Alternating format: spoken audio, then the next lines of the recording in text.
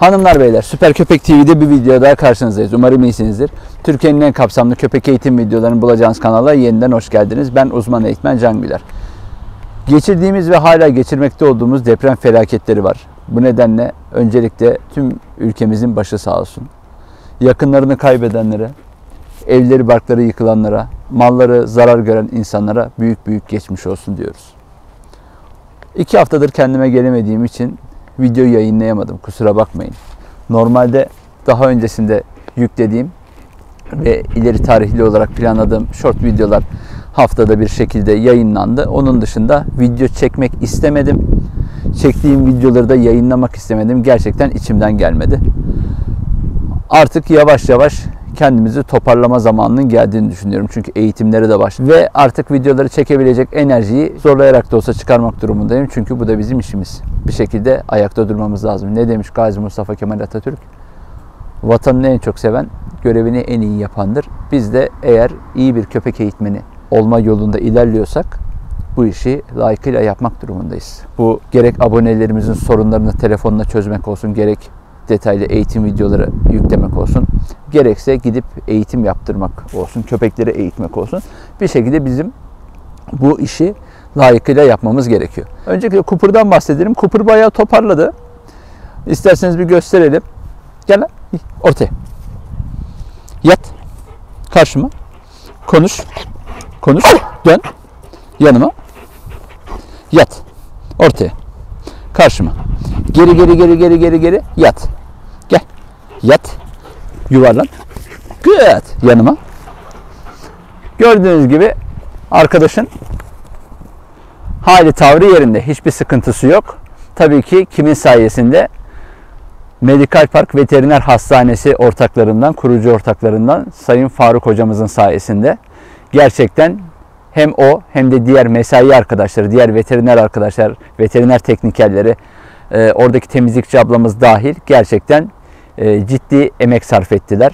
Hem bakımı hem tedavisi bu arkadaşı o halden bu hale getirdiler. Gerçekten video aracılığıyla da kendilerine teşekkürlerimi sunmak istiyorum. Şimdi arkadaşlar bugünkü videomuzun konusu ne biliyor musunuz? Bugünkü videomuzun konusu iki kardeş köpek eşleşir mi? Çünkü şehir efsaneleri var. Ne diyorlar?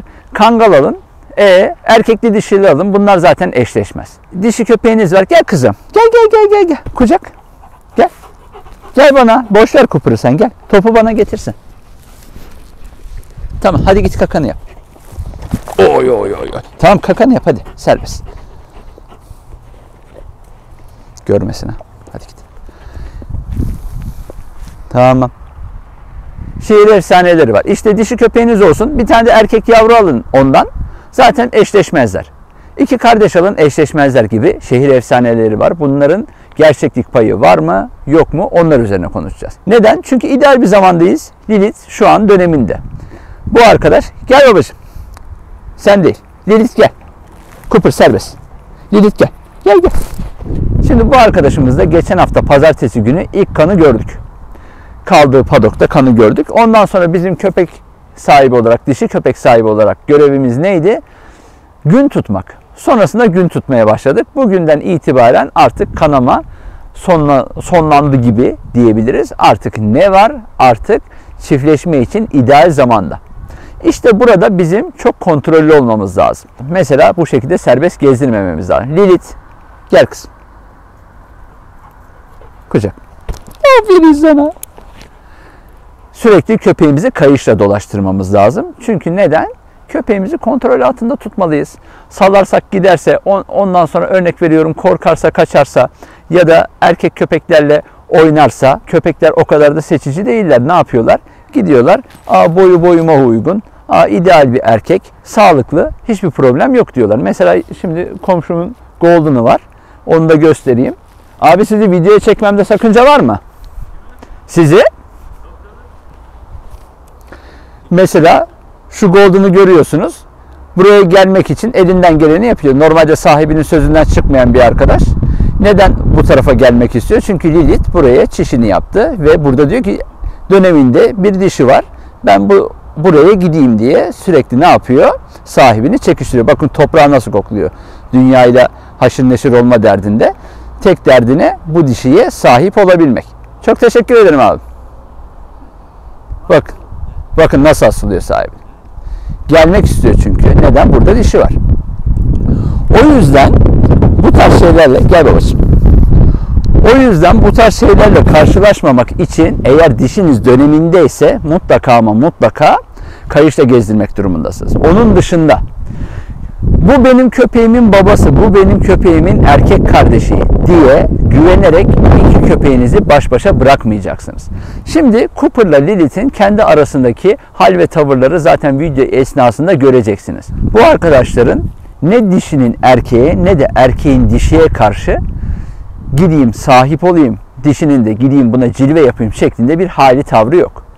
Ama olmayacağının garantisi yok. Şimdi tamam ben şanslıyım. Ben şanslıyım diye evet bütün Alman çobanlar birlikte büyüdüyse eşleşmezler şeklinde bir genelleme yaparsam hayır yat evet dişi nasıl ki bu dönemde oldukça kontrol edilmesi gereken bir canlıysa dişinin yanındaki erkek köpek de dişiyi kıskandığı için çok kontrol edilmesi gereken bir canlı. Az önce bağırmamın nedeni Cooper'ı normalde orada topunu bıraktım oynuyordu. Topu bıraktı. O dedi erkek köpek gelmiş. Sen kimsin de benim kız kardeşimin ya da sen kimsin de kızana girmiş köpeğin yanına geliyorsun ben varken diye kulakları dikti, kuyruğu dikti, enseyi kabarttı. Oraya doğru gidiyordu. Dolayısıyla bu dönem hem erkek köpekler için hem de dişi köpekler için ciddi sıkıntılar barındırıyor. Gelelim diğer konumuza. Cooper'la Lilith eğer baş başa kalırlarsa çiftleşirler mi, çiftleşmezler mi? Şimdi bu arkadaşları ben baş başa bırakıyorum. Birlikte serbest gezdiriyorum. Cooper ciddi bir şekilde kokluyor bu arkadaş. Lilith'i kokluyor. Lilith her çiş yaptığında gidiyor çişini kokluyor. Hatta çişini yalıyor ruh hastası. Neden? Lilith şu anda salgıladığı feromonlarla değil Cooper'ı bütün erkek köpeklerin aklını başından alıyor.